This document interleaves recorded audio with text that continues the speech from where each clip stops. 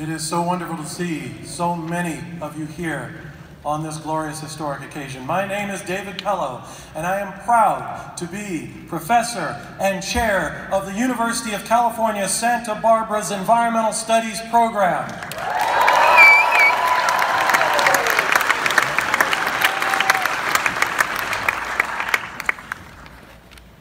We have 7,300 alumni, 1,100 current majors.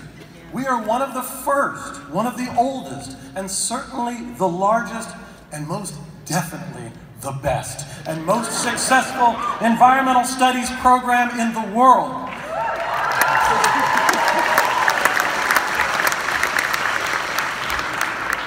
We started this program in the wake of the 1969 Santa Barbara oil blowout, the spill, when faculty came together from multiple departments under the realization that no single field, no single field alone could address our environmental crisis on its own. And that we needed to create multidisciplinary educational programs that would prepare our students for the future by ensuring that they have the skills to solve the grand challenges of our time, to promote inspiring and transformative solutions that will benefit all of humanity and strengthen our life support systems, our ecosystems. Some examples of the extraordinary work that our amazing students do include introducing environmental justice curriculum into the public school systems of Los Angeles and Seattle school systems building campus and community gardens to provide food, healthy, sustainable, organic, and culturally appropriate food to those who are food insecure.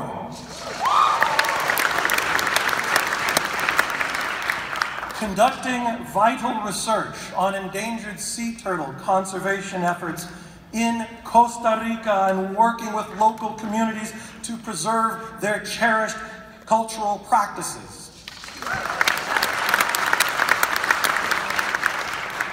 Participating in the successful campaign to secure a victory for climate justice in Oxnard, California, when we beat back the proposal for the polluting Puente power plant.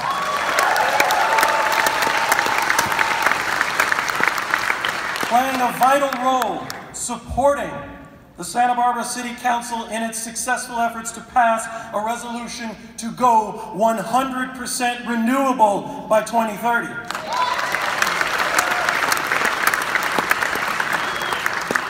And showing up at a hearing just last week in Santa Maria to oppose the expansion of oil wells in Cat Canyon and to promote to promote sensible, sustainable, and socially just policies for economic development for Santa Barbara County. Our students.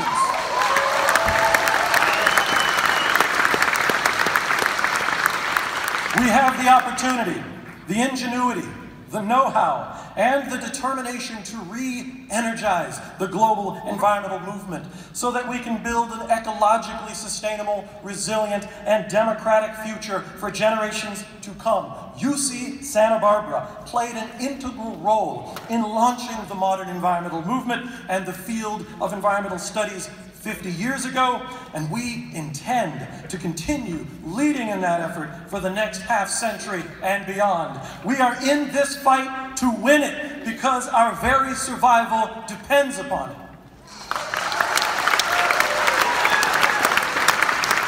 And now, and now I am honored to introduce to you one of those amazing students whom I have the pleasure of working with here at UC Santa Barbara. Rose Strauss is from San Anselmo, California. She is from San Anselmo, California and organizes with the Sunrise Movement, advocating for a Green New Deal. She is returning as a sophomore environmental studies major at UC Santa Barbara. She's returning because she spent an entire quarter off, off of school to do what? She was campaigning, campaigning for the midterm elections, and boy, did she deliver.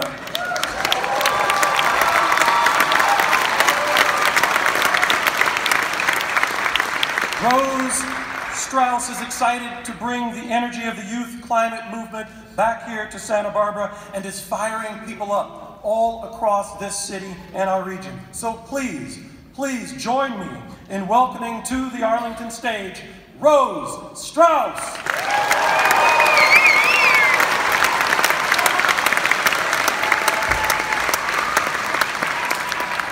Thank you so much.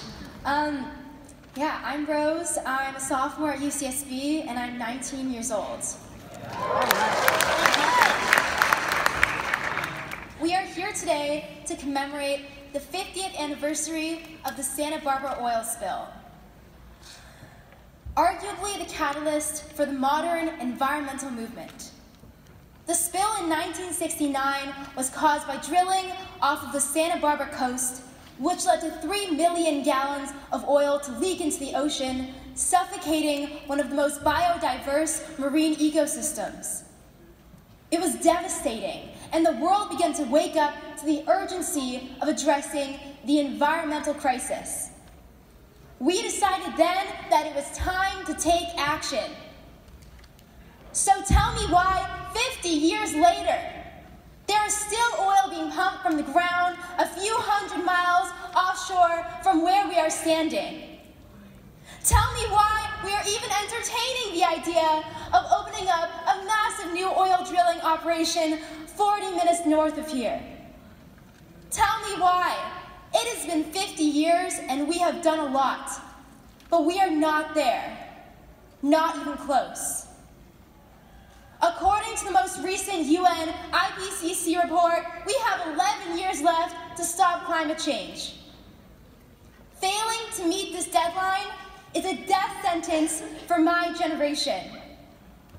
And although that is is a weight that every single young person carries with them every day, it means that this movement has changed in fundamental ways. This is no longer about conserving the environment. This is the fight of our lives and the fight for our lives, and there is no time to waste.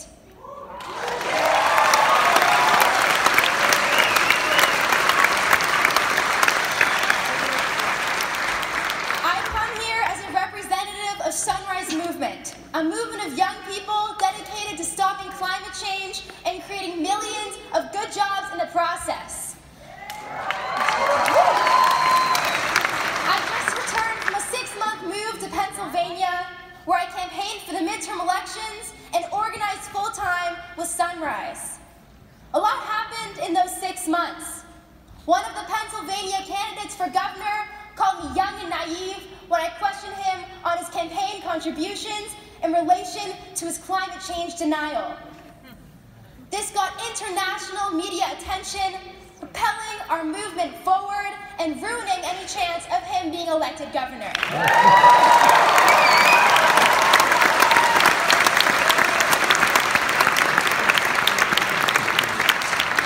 So, being called young and naive wasn't the worst thing in the world.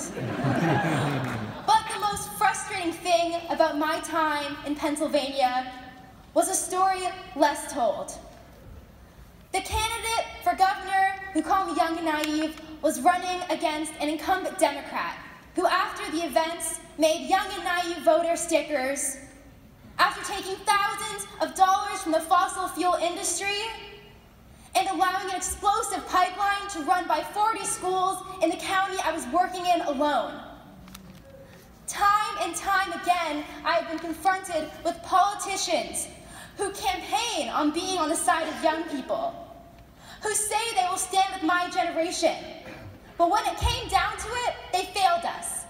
They refused to advocate for any real solutions to this crisis. They were too scared to stray from the establishment, too scared to be bold for my generation, too bought out by fossil fuel executives to demand the change that we need. Well, I was raised Jewish with family members who were killed in the Holocaust, and I was brought up to believe that silence in the face of injustice is inexcusable.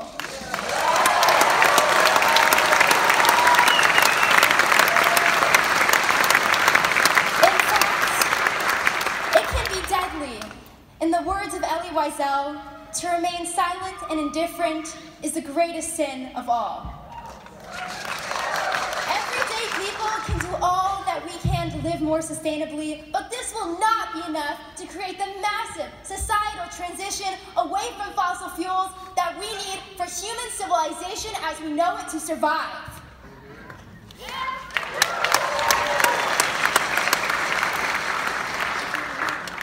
We need a solution to climate change.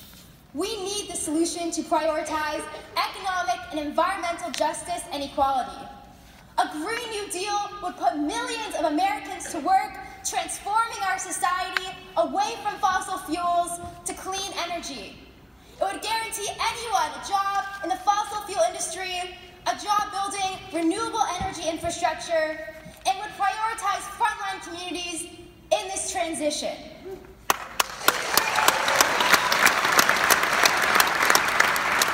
We can build an economy that works for all of us, not just the 1%. And our representatives have a moral responsibility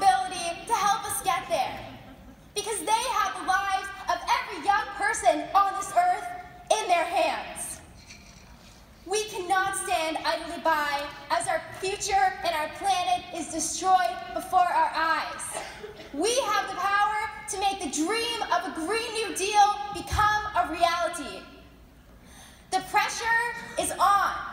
On the 100th anniversary of the Santa Barbara oil spill, it will be 40 years too late. So we will keep building the movement. We will keep holding our elected officials accountable. But in order for this to work, we must all come together intergenerationally to create the formidable political force that will change the course of history.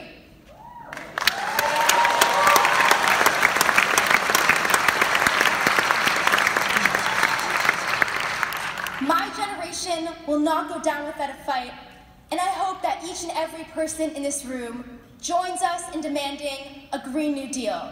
Thank you.